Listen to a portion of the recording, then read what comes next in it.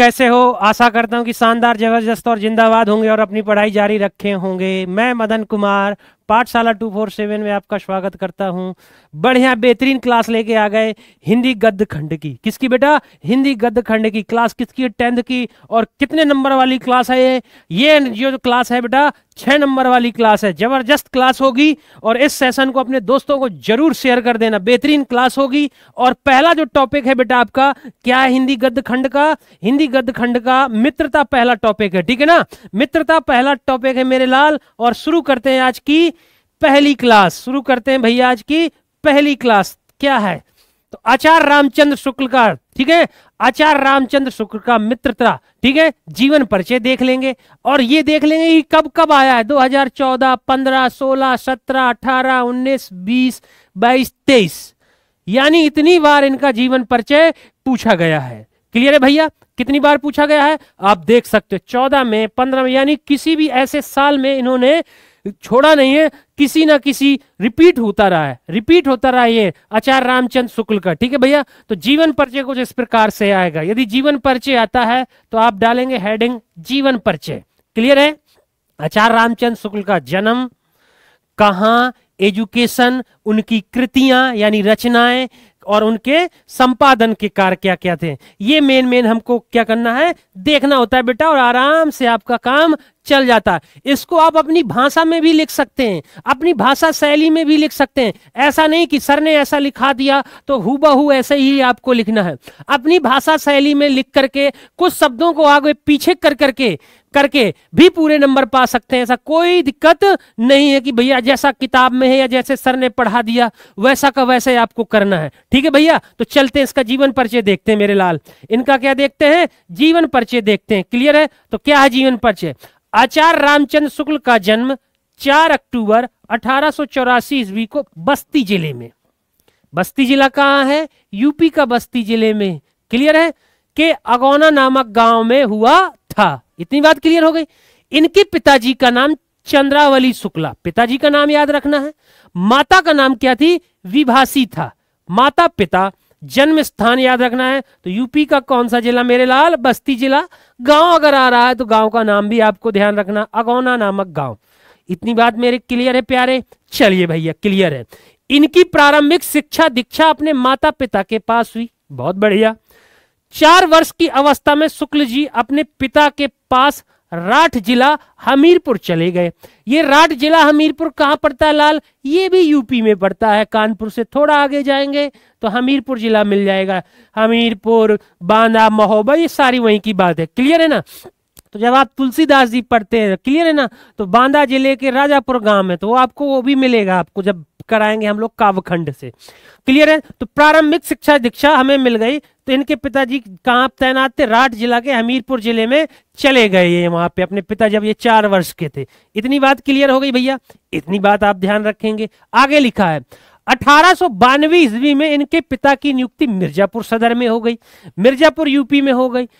कानूनगो के पद पर थे यानी इनके पिता कौन थे? रिवेन्यू इंस्पेक्टर कानूनगो थे भैया। तहसील में, क्या थे तहसील होती है राट तहसील में थे, फिर इसके बाद कहा गए? मिर्जापुर सदर की तहसील। तहसील, ठीक है ना भैया? तहसील में चले गए। कानूनगो के पद पर हुई। जिस कारण शुक्ल जी के पिता के साथ मिर्जापुर आना पड़ा, ठीक है, ये मिर्जापुर चले गए। इन्होंने हाई स्कूल ये याद रखना हाई स्कूल की शिक्षा। हाई स्कूल की परीक्षा कहाँ पर की? मिर्जापुर ज़िले के मिशन स्कूल से उत्तीर्ण की। स्कूल का नाम याद रखेंगे मिशन मिशन स्कूल से क्या की भैया? उत्तीर्ण की। तो यानी हाई स्कूल, इंटर और ग्रेजुएशन। ये इनकी एजुकेशन आपको ध्यान रखना है। तो हाई स्कूल मिर्जापुर से करी। गणित में कमज़ोर होने के कारण इनकी शिक्षा आगे नहीं हुई सकी। इंटर की परीक्षा के लिए इन्होंने विद्यालय में प्रवेश लिया। चलो देखते हैं, ले लिया। किंतु अंतिम वर्ष की परीक्षा से पूर्व ही विद्यालय छूट गया। क्लियर है? विद्यालय छूट गया। स्वाध्याय से ही इन्होंने हिंदी, अंग्रेज़ी, संस्कृत, बंगला, यानी इन्होंने सेल्फ स्टडी करके, क्या करके? सेल्फ स्टडी करके हिंदी, अंग्रेज़ी, संस्कृत, बंगला आदि भाषाओं का ज्ञान प्राप्त किया। आदि भाषाओं का इन्होंने क्या कर लिया? ज्ञान प्राप्त कर लिया। कुछ समय पश्चात ये हिंदी शब्द सागर के लिए, हिंदी शब्द सागर के लिए वैतनिक सहायक के रूप में काशी आ गए। ठीक है भैया? कहा आ गए? काशी चले आए। काशी बनारस आ गए। तथा बाद में शुक्ल जी ने नागरी प्रचारणी सभा, ये याद रखना, बाद में नागरी प्रचारणी सभा पत्रिका का क्या किया? संपादन किया। तो कहेगा, बताइए, आचार्य रामचंद्र शुक्ल ने किस पत्रिका का संपादन किया। तो क्या बोलेंगे लाल? नागरी प्रचारणी सभा का संपादन किया। बाद में शुक्ल जी की नियुक्ति काशी हिंदू विश्वविद्यालय, जिसे हम लोग आज बनारस हिंदू विश्वविद्यालय कह देते हैं। वह तो काशी हिंदू विश्वविद्यालय में हिंदी के हिंदी के प्राध्यापक पद पर हो गई। यानी ये क्या बन गए भैया? हिंदी के ये टीचर बन गए। कहाँ पे? काशी विश्वविद्यालय में। बाबू श्याम सुंदर दास के, बाबू श्याम सुंदर दास के अवकाश प्राप्त होने के पश्चात शुक्ल जी ने अध्यक्ष पद को संभाला। किसको संभाला? अध्यक्ष पद। यानी इससे पहले कौन थे? बाबू श्याम सुंदर दास थे। इसी पद पर कार्य करते हुए 2 फरवरी 2 फरवरी उन्नीस सौ इकतालीस ईस्वी में इनका दिल का दौरा पड़ने के कारण देहांत हो गया। और देहांत कहाँ हुआ? काशी बनारस में हुआ भैया। काशी बनारस में हुआ। जन्म कहा हुआ था मेरे लाल? तो जन्म आपको याद रखना है, जन्म जन्म। जन्म यदि आप भूल गए तो दिक्कत आ जाएगी। तो मृत्यु हुई 1941 में। कहाँ पर? जहाँ पर ये अध्यक्ष पद पे संभाला था, काशी विश्वविद्यालय में। अब आपको, भैया, जन्म कब हुआ था मेरे लाल? तो जन्म हुआ था अठारह को बस्ती ज़िले के अगौना नामक गाँव में हुआ था। तो जिला बस्ती मरे कहाँ पर? इनकी मृत्यु कहाँ हुई? काशी में हो गई। तो ये आपको अपनी भाषा शैली में भी बहुत छोटा सा जीवन परिचय लिख सकते हैं। क्या क्या याद रखना है? आचार्य रामचंद्र शुक्ल का जन्म माता पिता माता पिता का नाम, प्रारंभिक शिक्षा, क्लियर है? प्रारंभिक शिक्षा, ये अपनी भाषा शैली में भी लिख सकते हैं, ठीक है? प्रारंभिक शिक्षा, भाषा शैली, पत्रिकाओं का संपादन इतना क्लियर हो गया। फिर इसके बाद में हम लोग लास्ट जो शब्द होगा, वो हो रहता है आपका लास्ट में जीवन परिचय में रहेगा आपका मृत्यु। मृत्यु होगी बेटा। क्या होगी? मृत्यु। तो मृत्यु आपको याद रखना, उन्नीस सौ इकतालीस ईस्वी में इनका दिल का दौरा पड़ने के कारण देहांत हो गया। बस इतना आपको अपनी भाषा शैली में लिख दो। एक भी नंबर आपको एग्जामिनर नहीं काटेगा। एक भी नंबर एग्जामिनर नहीं काटेगा। मेरे लाल, एक भी नंबर नहीं काटेगा। यह याद रखना। आगे आ जाती हैं आपकी रचनाएँ। क्या हेडिंग लगाएँगे? हेडिंग लगा देंगे मेरे लाल रचनाएँ, कृतियाँ, रचनाएँ, ठीक है? तो रचना क्या है शुक्ल जी? शुक्ल जी महान साहित्यकार थे, ठीक है? इनकी प्रमुख रचनाएँ इस प्रकार है। इनकी प्रमुख रचनाएँ इस प्रकार है। आप इसे डायरेक्ट लिख सकते हैं, रचनाएँ हेडिंग करके। ये रहा, ग्रंथावली। ग्रंथावली में इन्होंने क्या लिखा? रस मीमांसा चिंता मणि जायसी ग्रंथावली, भ्रमर गीत, सार आदि लिखा। क्लियर है? अब कहो भैया, क्या हम सारे याद रखेंगे क्या? तो इनमें से दो याद रख लो, चिंतामणि, या ये कुछ दो दो लिख दो। कहानी कहानी क्या लिखी इन्होंने? कहानी में लिखो, ग्यारह वर्षों का समय। हेडिंग डालेंगे कहानी और एक कहानी लिख देंगे, ग्यारह वर्षों का समय। ग्यारह वर्षों का समय मेरे लाल लिख देंगे। ठीक है, इतनी बात क्लियर है? अब आ जाएँगे संपादन में। इन्होंने संपादन कौन से किया? तो हिंदी शब्द सागर, अखरावट आखिरी कलम आखिरी कलम। और नागरी प्रचारणी सभा पत्रिका का क्या किया? संपादन किया था, वो आपको पहले ही मैंने बता दिया। तो हिंदी शब्द सागर, अखरावट, आखिरी कलम। इन्होंने क्या किया इनका? संपादन किया। तो आपने पहले डाला हेडिंग, जीवन परिचय क्या लगाएँगे हेडिंग? जीवन परिचय लगा देंगे। देखो कितना शॉर्ट में आपको लिखना है। जीवन परिचय लिख देंगे। जीवन परिचय में आपको क्या क्या ध्यान रखना है? जीवन परिचय में ध्यान रखना जन्म स्थान। जन्म स्थान, क्या ध्यान रखेंगे भैया? जन्म स्थान माता पिता माता पिता का ध्यान रखेंगे। माता पिता प्रारंभिक शिक्षा। प्रारंभिक शिक्षा, ठीक है? प्रारंभिक शिक्षा का ध्यान रखेंगे। प्रारंभिक शिक्षा का ध्यान रख लेंगे। इतना आप लिखते चलेंगे। प्रारंभिक शिक्षा प्रारंभिक शिक्षा के बाद पद। किस पद पे ये तैनात हुए? एक और लास्ट में आप क्या लिख देंगे? मृत्यु लिख देंगे। क्या लिख देंगे लल्ला? मृत्यु। तो ये हो जाता है जीवन परिचय। इसके बाद इसके बाद क्या करेंगे? कृतियाँ। कृतियाँ क्या क्या लिखी? कृतियाँ या रचनाएँ। कृतियाँ या रचनाएँ लिखेंगे। रचनाओं में क्या क्या आपका चल रहा है? वो आपका दिख ही रहा है आपका कृति या रचनाएँ क्या क्या लिखी, ठीक है? तो जीवन परिचय का प्रारंभिक ये आपको लिख देना, इसके बाद कृति या रचनाएँ। संपादन आपने, इन्होंने ये किया। इतना आपको आपको अपने शब्दों में भी लिख देना है मेरे लाल। कोई दिक्कत नहीं है। अपने शब्दों में भी इन्हें लिख सकते हैं। कोई दिक्कत नहीं होगी नहीं होगी नहीं होगी। ध्यान रखना मेरी बात। क्लियर है भैया? आगे बढ़ते हैं। आलोचनाएँ। शुक्ल जी की आलोचनाओं के क्षेत्र में तीन ग्रंथ प्रकाशित हुए। एक है रसमीमांसा, त्रिवेणी और सूरदास। क्या है भैया? सूरदास। कभी कभी एग्जामिनर क्या करता है? कहता है, एग्जामिनर कि आचार्य रामचंद्र शुक्ल का जीवन परिचय लिखिए और उनकी आलोचनाओं पर, और उनकी आलोचनाओं पर क्या डालिए? प्रकाश डालिए, नज़र डालिए। इतना आ जाता है। तो जीवन परिचय और आलोचनाएँ अगर केवल कहता है आलोचनाएँ भर तो आप सीधा डायरेक्ट आएँगे तीन ग्रंथ की प्रकाशित, एक लिख लेना रश्मिमांसा त्रिवेणी, और क्या लगा देंगे लाल? सूरदास लगा देंगे। क्या लगा देंगे भैया? सूरदास कर देंगे। क्लियर है? अगर अगर आपसे यहाँ से पूछ देता है कि बताइए, आचार्य रामचंद्र शुक्ल का जीवन परिचय लिखिए और उनके संपादन पर क्या डालिए? प्रकाश डालिए। तो केवल यहाँ, केवल आ जाइए संपादन पर और लिख देना अखरावट, आखिरी कलम और आदि। अगर आता है कि आचार्य रामचंद्र शुक्ल का जीवन परिचय लिखिए अपने शब्दों में और एक कहानी लिखिए। एक कहानी बताइए, उनके द्वारा लिखी। तो क्या लिखेंगे? ग्यारह वर्षों का समय। क्लियर हो जाता है ये बात? क्लियर है? चलिए, आगे बढ़ते हैं। अगला देखिए। अब आ गया गद्धांश नंबर एक। बेटा, एक मैं प्रैक्टिस करा दूँगा और इसी प्रैक्टिस के अनुरूप आपको आने वाले गद्धांश की भी क्या करना है? जितने भी इसके मित्रता के गद्धांश बनेंगे, वो आप आसानी से कर लेंगे। क्या कर लेंगे? आसानी से कर लेंगे मेरे लाल।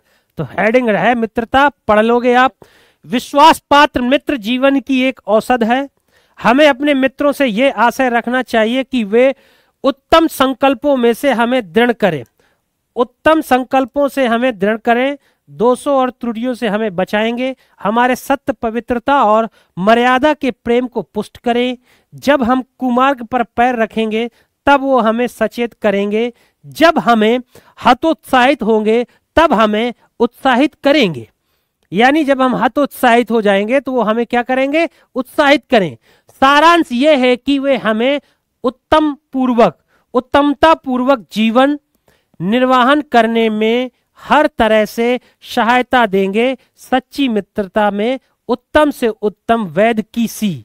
वैद की सी निपुणता और परख होती है। अच्छी से अच्छी माता की सी धैर्य और कोमलता होती है। ऐसी ही मित्रता करने का प्रयत्न प्रत्येक पुरुष को करना चाहिए। यह पहला गद्दांश है मित्रता का। ठीक है भैया, आया है मोस्ट इंपॉर्टेंट है मेरे लाल मोस्ट इंपॉर्टेंट है। 2023, 20, 18, 16, 13, 11 क्लियर है भैया? इतनी बार पूछ चुका है। इतनी बार पूछ चुका है। बताइए इसमें किसी को समस्या? नहीं है ना मेरे लाल। थोड़ी सी मेहनत करने से यदि नंबर आ जाए तो भैया मेहनत कर ली जाती है। मेहनत कर ली जाती है। मेहनत का कोई शॉर्टकट मत अपनाना मेरे प्यारे। मेहनत का कोई शॉर्टकट मत अपनाना। शॉर्टकट अपना तो लोगे। लेकिन कामयाबी आपको दूर होती चली जाएगी। कामयाबी आपसे दूर होती चली जाएगी। क्लियर है ना? तो शॉर्टकट मत अपनाएँगे। हमने सारा पढ़ लिया। अब आते हैं हम उपरयुक्त गद्दांश को पढ़कर निम्नलिखित प्रश्नों के उत्तर दीजिए। ठीक है भैया? और गद्दांशों को पढ़कर निम्नलिखित उत्तरों को क्या दीजिए? उत्तर, प्रश्नों के उत्तर दीजिए। अब कहो भैया ये क्वेश्चन कैसे सॉल्व करेंगे मेरे लाल? या तो आप बहुत ध्यान से गद्दांश पढ़ लीजिए। गद्दांश पद्धांश बड़े ध्यान से पढ़ लीजिए भैया। क्लियर है? या तो कहो भैया, हमें गद्दांश पूरा नहीं पढ़ना तो पूरा मत पढ़ो। सीधा आप क्वेश्चन पे आ जाओ क्वेश्चन पे आ जाओ। ठीक है भैया? क्वेश्चन पे आ जाएँगे तो लिखा है, उपरोक्त गद्धांश का संदर्भ लिखिए। क्या लिखा है? क्वेश्चन आया, उपरोक्त गद्धांश का संदर्भ लिखो। एक बात ठीक है, फिर क्वेश्चन नंबर दूसरा दूसरा कह रहा है गद्धांश के रेखांकित अंशों की व्याख्या कीजिए। ये आप अपनी भाषा शैली में भी लिख सकते हैं। ज़रूरी नहीं है कि जो मैं बताऊँ वो लिखो। ज़रूरी नहीं है कि जो मैं बताऊँ वो लिखो। बस आपको यदि अपनी भाषा शैली आती है ना तो अपनी भाषा शैली में लिख दो। एक भी नंबर आपके एग्जामिनर नहीं काटेगा मेरे प्यारे। क्लियर है? तो देखते चलेंगे। आगे का क्वेश्चन क्या है? व्यक्ति को अपनी मित्रता से क्या उम्मीद करनी चाहिए? अपनी मित्र से क्या उम्मीद करनी चाहिए एक मित्र को? एक सच्चा मित्र किसे कहा जाता है? या किसे कहा गया है? अब इसकी व्याख्या आप देख लीजिएगा पहले वाले क्वेश्चन की व्याख्या। पहले वाले क्वेश्चन की व्याख्या क्या क्या रहा है भैया? उपरोक्त गद्धांश का संदर्भ लिखिए। उपरोक्त गंधा गद्यांश का क्या लिखना है? संदर्भ लिखना। संदर्भ ये रहा। क्या लिखेंगे? बेसिक प्रस्तुत गद्यांश। सीधे लिखेंगे, प्रस्तुत गद्यांश हमारी पाठ पुस्तक गद्य खंड के मित्रता पाठ से लिया गया है। ये तो आपको लिखना ही लिखना है, मेरे लाल इतना था। इतना तो आपको लिखना ही लिखना है, रट लो इसको इतना शब्द को। इतने शब्द को तो लिखोगे ही। ये जो भाषा शैली है ना, ये एग्जामिनर को बहुत प्रभावित करती है।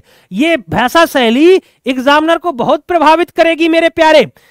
बच्चे को यह पता है कि यह टॉपिक जो है, किस पार्ट से लिया गया है? मित्रता पाठ से लिया गया है, लिया गया है। इसके रचयिता रचयिता यानी लेखक आचार्य रामचंद्र शुक्ल जी हैं। आपको उस टॉपिक के लेखक का नाम भी पता होना चाहिए। इतनी यदि आपने लिख दिया तो आपको इतने से बड़े ही प्रभावित ढंग से लगता है कि बच्चे ने पढ़ा है, समझा है, लिखा है। बहुत ही प्रभाव पड़ता है एग्जामिनर पर, मेरे प्यारे। आगे बढ़ेंगे और इसका संदर्भ ये रहा मेरे। क्या रहा? क्या कहते हैं? संदर्भ लिखिए। क्लियर है? तो हमने लिख दिया। प्रस्तुत गद्यांश हमारी पाठ्य पुस्तक के गद्य खंड के मित्रता पाठ से लिया गया है। इसके रचयिता आचार्य रामचंद्र शुक्ल जी हैं। बात क्लियर है? चलिए भैया कहेंगे। क्लियर है? आगे आते दूसरे क्वेश्चन का आंसर। अब आते हैं व्याख्या पे। आचार्य शुक्ल जी कहते हैं कि सच्चा मित्र दवा के समान है। पढ़ा है हमने, गद्यांश में मिला था, बिल्कुल सही है। आप अपनी इसको भाषा शैली में लिखिए। जिस यहाँ दवा की जगह औषधि भी कह सकते हैं कि सच्चा मित्र औषधि के समान है। औषधि के समान आप अपनी भाषा शैली का बेहतरीन ढंग से प्रयोग कर सकते हैं। बढ़िया भाषा सब, शब्दों का चयन करिए अच्छे अच्छे शब्दों का चयन करिए और लिख दीजिए। जिस प्रकार अच्छी दवा लेने से रोग दूर हो जाता है, वैसे ही सच्चे मित्र हमारे बुरे संस्कारों को, बुरे आचरणों को दुर्गुणों से मुक्त कर देते हैं। तो यहाँ आप लिख सकते हैं, हमारे बुरे आदतें, बुरे लक्षण बुरे लक्षण, इनको क्या कर देते हैं? मुक्ति दिला देते हैं, छुड़वा देते हैं। ठीक है ना? ऐसे भी लिख सकते हैं आप। कोई दिक्कत नहीं कि आप ये भाषा शैली कॉपी करिए एक प्रारूप बता रहा हूँ बेटा, बस प्रारूप। आप इसको अपने भाषा शैली में लिख दो, कोई दिक्कत नहीं है भैया। इतना लंबा नहीं लिखना तो आप ऐसा कोशिश करिए कि कम से कम चार से पाँच लाइनों में लिख दो। चार से पाँच लाइनों में आप लिख सके बढ़िया तरीके से। ठीक है भैया? चार से, ठीक है? दोनों से मुक्त। हमें अपने मित्रों से ये आशा रखनी चाहिए कि वो हमें 200 अवगुणों और बुराइयों से बचाए, ठीक है? ऐसा मित्र रखना चाहिए हमेशा। ऐसा मित्र नहीं होना चाहिए कि ले भाई, बीड़ी पी, सिगरेट पी, बियर पी, ये कर, वो कर, लड़की को छेड़ो, ये करो। ऐसा मित्र से मित्रता नहीं करनी चाहिए, ठीक है ना? ये है मित्रता का भाव। अगला कह रहा है, हमारे विचारों और संकल्पों को मज़बूत बनाने में हमारी मदद करे। जो हमारा टारगेट है कि हमें ये करना है और उसके लिए हमें प्रेरित करे प्रेरित करे, ठीक है ना? उत्साहित करे। ऐसा मित्र होना चाहिए। ऐसा नहीं कह रहे भाई, ये तुमसे नहीं हो पाएगा, ये रहने दो, ये रहने दो। जैसे आपका टारगेट है कि भैया, हमें आगे चल के हाई स्कूल में इतने परसेंट लाना है, इंटर में इतने परसेंट लाना है, आगे फिर हमें ये तैयारी करनी है। तो ये ना कहे, अरे रहने दे भैया, रहने दो ऐसा मत कर। पढ़ आप पढ़ेंगे आसा, आसानी से पास हो जाएँगे। पास तो बेटा सब कोई हो जाता है। पास तो सब कोई हो जाता है लेकिन अच्छे नंबरों से पास होना अच्छे नंबरों से पास होना एक बेहतरीन बात है कि कम से कम ये कह सको कि हाँ आपके माता पिता ये कह सके कि हाँ हमारे बच्चे ने क्या करी है? मेहनत करी है। शानदार ज़बरदस्त मेहनत करी है भैया। ठीक है ना? ये आगे बढ़ते हैं। अच्छे विचार लाओ और हमें हर तरह की बुराइयों से बचाए। हमारे मन में सच्चाई, मर्यादा, पवित्रता की भावना उत्पन्न करे।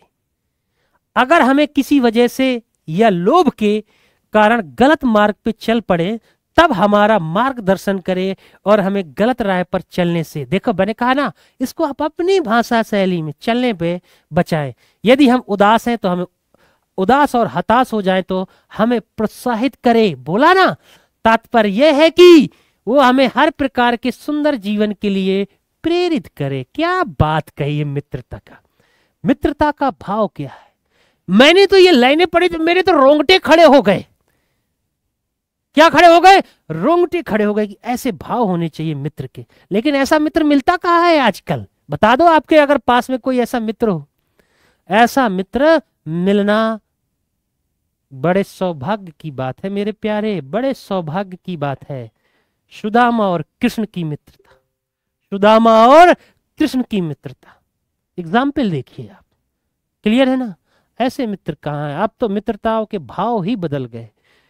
अर्थ ही बदल गए। मीनिंग बदल गई उनके मेरे प्यारे। क्लियर है ना? क्लियर है ना भैया? और ये इसका मित्रता का मतलब ये नहीं है कि एक पुरुष पुरुष एक पुरुष और एक महिला। और एक महिला महिला की मित्रता का है। बस मित्रता का भाव ये है मेरे प्यारे। अगले बढ़ लेखक सच्चे मित्र के गुण बताते हुए कहता कि सच्चा मित्र एक कुशल वैद्य की जरा वो वही बात है। चलिए, आगे बढ़ते हैं। अगला देखो, तीसरे का। तीसरे का ये रहा। व्यक्ति को अपने मित्र से ये उम्मीद करनी चाहिए। देखो क्वेश्चन तीसरे का है बेटा ये। तीसरे का। तीसरे का क्वेश्चन नंबर तीसरा। क्वेश्चन नंबर प्यारे मेरे, तीसरा। तीसरा ये रहा, तीसरे का है व्यक्ति को अपने मित्र से क्या उम्मीद रखनी चाहिए? इसका आंसर आपका, और दूसरा क्या है, एक सच्चा मित्र किसे कहा गया है? तो तीसरे का क्वेश्चन नंबर एक, और क्वेश्चन नंबर दो को सॉल्व करते हैं तीसरे का। क्लियर है भैया? तो पहला क्वेश्चन ये रहा, ठीक है? ये रहा, व्यक्ति को अपने मित्र से ये उम्मीद कर, क्या करनी चाहिए? तो उम्मीद के बारे में क्या करनी चाहिए? देख व्यक्ति को अपने मित्र से उम्मीद करनी चाहिए कि वे उसे संकल्पवान तथा अच्छे कार्य करने के लिए उत्साहित करेगा, मन में अच्छे विचार उत्पन्न करेंगे। बुराइयों और गलतियों से बचाकर मानवीय गुड़ी तथा, मानवीय गुण तथा अच्छे मार्ग पर चलने के लिए प्रोत्साहित करेंगे। क्लियर? ऐसे आप अपनी भाषा शैली में लिख सकते हैं कि व्यक्ति को अपने मित्र से उम्मीद करनी चाहिए कि उसे संकल्पवान, धैर्यवान, गुड़ी, उत्साहित, मन में अच्छे विचार उत्पन्न करने वाला, बुराइयों और गलतियों से बचाकर मानवीय गुण तथा अच्छे मार्ग को चलने के लिए प्रोत्साहित करने वाला। वे हमें प्रेरित भी करेंगे। क्लियर है? तो इसको अपनी भाषा शैली में एक अच्छे मित्र के गुण लिख देना है कि हमें अपने मित्र से क्या उम्मीदें होनी चाहिए? इसको आप अपनी भाषा शैली में लिख दो, कोई दिक्कत नहीं कि सर ने जो बताया या भैया ने जो बताया, ऐसे ही कहना है कि एक अच्छे मित्र के क्या क्या गुण होने चाहिए और हमें उनसे क्या क्या उम्मीदें होनी चाहिए। ठीक है मेरे प्यारे? आगे आ जाइए। आगे आ जाइए। अगला, तीसरे का, दूसरे का आंसर ये रहा। एक सच्चा मित्र उसे कहा गया है, यानी एक सच्चा मित्र किसे कहा गया? आंसर देखिए। एक सच्चा मित्र उसे कहा गया है कि जो एक अच्छे डॉक्टर के समान हमारे यानी एक अच्छे वैद भी कह सकते हैं यहाँ पे। वैद मीन्स डॉक्टर एक वैद के समान या हमारे दुर्गुणों को पहचान कर। जैसे डॉक्टर है ना डॉक्टर कैसे हमारी बीमारी को पहचान करके वो दवा दे देता है जिससे हमारी बीमारी क्या हो जाती है? दूर हो जाती है। तो ऐसे ही हमारे मित्रता, मित्र के भी होने चाहिए। एक सच्चा मित्र कि हमारे जो क्या है, दुर्गुणों को पहचाने और उन्हें क्या दिला दे? मुक्ति दिलाए। उसे एक माँ के समान धैर्य और जो किसी भी समय कोमलता ना छोड़े। जो किसी समय कोमलता ना छोड़े, लाल। क्लियर है मेरी बात? इतनी बात क्लियर है, बताइए। क्लियर है ना? किसी को समस्या? तो बताइए, समस्या नहीं है। तो कितना आसानी से आपने इन गद्दांश के आंसर दे दिए। ठीक है ना? और बेटा, अब हमारे चैनल पे 80 दिन के लिए कंप्लीट तैयारी चल रही है। ठीक है ना? जिन्होंने अभी तक ज्वाइन नहीं किया या कुछ पढ़ा नहीं है तो उनके लिए ज्वाइन कर ले। ब्रह्मास्त्र क्रैश कोर्स चल रहा है। ठीक है ना? और कितने? नब्बे नब्बे प्लस अंक की गारंटी है मेरे लाल। नब्बे दिन में तैयारी बेहतरीन हो जाएगी। जिन्होंने एक भी नहीं पढ़ा, ज़ीरो हैं। तो इस कोर्स को ज़रूर देखें, परचेज करें। बैच स्टार्ट हो जाएगा बेटा पाँच नवंबर से। और ये कोर्स आपको पाँच नवंबर से पहले ही खरीदना है। जिसकी फ़ीस आपको कितनी है भैया? जिसकी फ़ीस आपकी ये ट्वेल्थ की है, ट्वेल्थ वालों की फ़ीस है पाँच सौ निन्यानवे रुपये और आपकी हाई स्कूल वालों की है कितनी? चार सौ निन्यानवे। टेंथ वालों की कितनी है? चार सौ निन्यानवे रुपये क्लियर है? अब कहो भैया हमें डिस्काउंट चाहिए। डिस्काउंट चाहिए तो डिस्काउंट के लिए बेटा हेल्प। क्या लगा देंगे? Help twenty. यूज़ करेंगे। तो आपको यहाँ से डिस्काउंट मिल जाएगा टेंथ वालों को। और अपने यदि कोई भाई बहन आपका ट्वेल्थ में पढ़ रहा है तो यहाँ पे भी आप ट्वेंटी परसेंट कूपन अगर आप हेल्प कूपन यूज़ करेंगे तो यहाँ भी आपको क्या मिल जाएगा? डिस्काउंट मिल जाएगा। क्लियर है? फिर आऊँगा। बार बार आऊँगा बेहतरीन क्लास लेकर के। और ये वीडियो अपने दोस्तों तक शेयर ज़रूर कर देना। फिर मिलेंगे एक धमाकेदार क्लास के साथ। तब तक के लिए जय हिंद, जय भारत।